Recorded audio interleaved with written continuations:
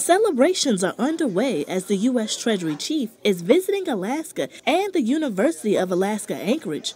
She's here to support what's called the Small Business Credit Initiative to help tribal communities. Communities that perhaps have been overlooked or at least underfunded in some of these areas. We're hoping that it stimulates the economy not just in, in tribal communities, but also in the communities that surround our tribal communities. They will allow Alaska Native businesses, rural businesses, statewide entrepreneurs as well, not just those um, who are in rural Alaska, to be able to have access to capital to start small businesses.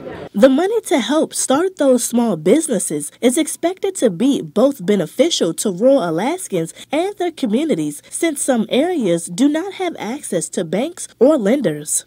Um, and we also know that when we support small businesses, whether it's in tribal communities or rural communities, it stimulates the local economy and it also provides employment opportunities. We've seen as the lenders are very motivated to try and make investments in rural and remote communities. And to learn more information about the state Small Business Credit Initiative, you can visit our website, youralaskalink.com. LaShawn Donaldson, Your Alaska Link, Anchorage.